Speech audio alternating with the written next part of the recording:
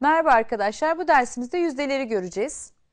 Yüzde işareti 15. yüzyılın sonlarından itibaren bilgisayar, kar zarar, vergi problemlerinde, problemlerinde kullanılmaktadır.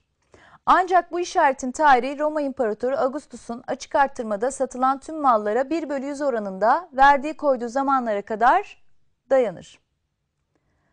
60 sayısının %20'sini birlikte bulalım. 60'ın %20'sini bulacağız. 60 çarpı 20 bölü 100 diyorum.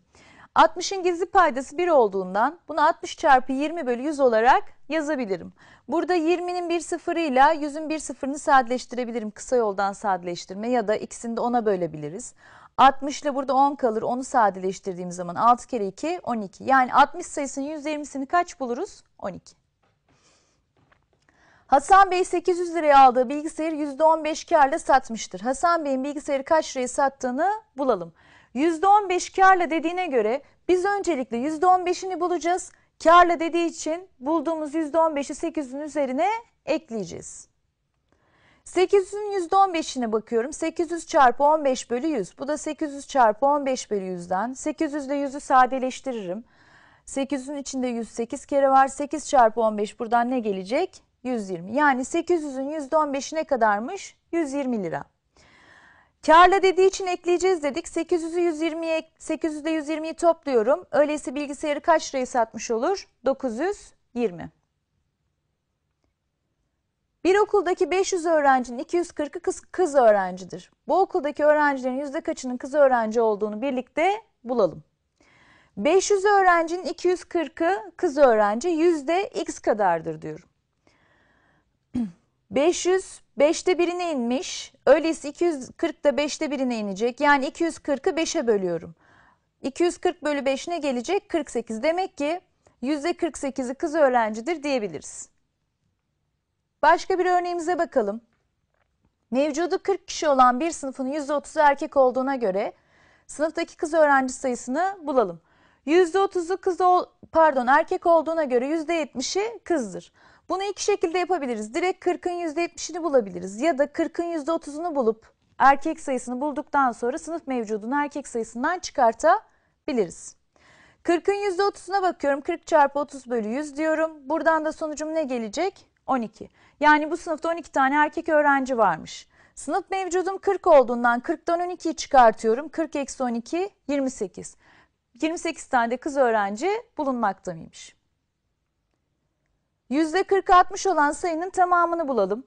Bu sefer sayının %40'ını vermiş bizden tamamını istiyor. yani 60'ın %40'ını isteseydi 60 çarpı 40 bölü 100 diyecektik. %40-60 olan dediği için bölme işlemi yapıyorum. Yani 60 bölü 40 bölü 100. Bunu da çarpmaya çeviriyoruz. 60 çarpı 100 bölü 40 yani 60 çarpı 100 bölü 40'tan ne gelecek? 150. Yani 150 sayısının %40'ı 60'mış. Bir okulda bulunan 900 öğrencinin %20'si spor etkinliklerine katılmaktadır. Spor etkinliklerine katılanların %50'si basketbol oynamaktadır. Bu okuldaki öğrencilerin kaçının basketbol oynadığını birlikte bulalım. Bunun için öncelikle %20'si spor etkinliklerine katıldığına göre 900'ün %20'sini bulacağım. Spor etkinliklerine katılanların da %50'sini bulacağım.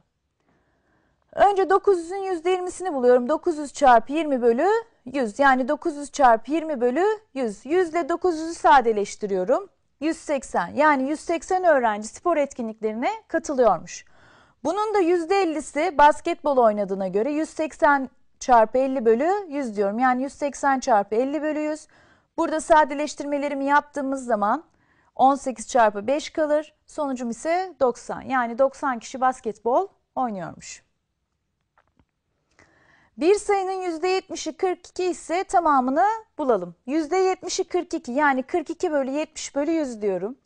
Çarpmaya çeviriyorum 42 çarpı 100 bölü 70. 42 çarpı 100 bölü 70'ten sadeleştirmelerimi yapıp sonra da çarpmamı yaptığım zaman sonucum ne gelecek? 60.